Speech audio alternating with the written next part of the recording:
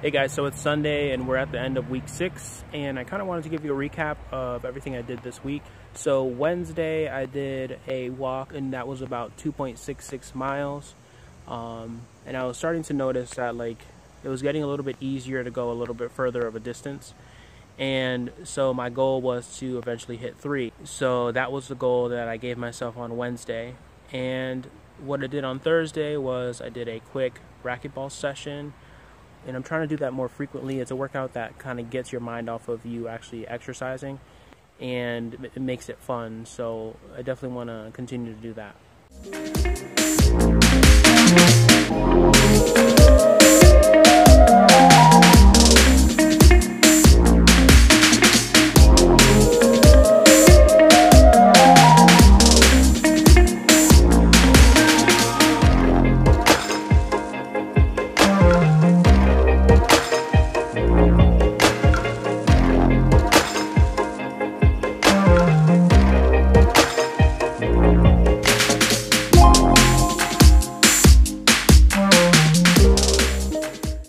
Saturday was when I actually got to do my three miles. Um, I feel like I would have gone a little bit longer if I didn't have anything I had to do that day.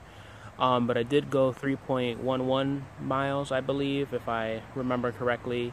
Um, so definitely happy about hitting that goal and definitely want to continue to grow the distance of that and obviously get a little bit faster with my um, with my walks and add in a little bit more running and Saturday, I actually was invited to a Polish festival. Um, they had great food and music, and we were there until like 1 a.m. or 1 something, um, like dancing. Um, they had some awesome uh, Polish music and Spanish music, so I felt a little bit um, out of my comfort zone, obviously, since it was something different. Um, but I'm glad that I went in and actually had a good time uh, with some friends uh, enjoying it. And today, Sunday, I did another two miles before I uh, got ready to do my weigh-in. And here are the results of my weigh-in.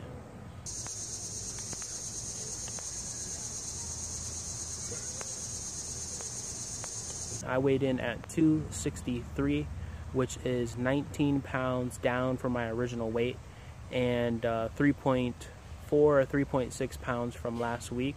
And I'm excited about continuing this process. Of course, we are only six weeks in and we have to go all the way to 52 weeks. So we start week seven tomorrow and hopefully I get to film some more because I did find my tripod. Uh, I actually left it at a friend's house. So um, thankfully I got it back and I can start filming again and um, during my week instead of giving you kind of like weekend recaps of everything I'm doing and I'll catch you next week.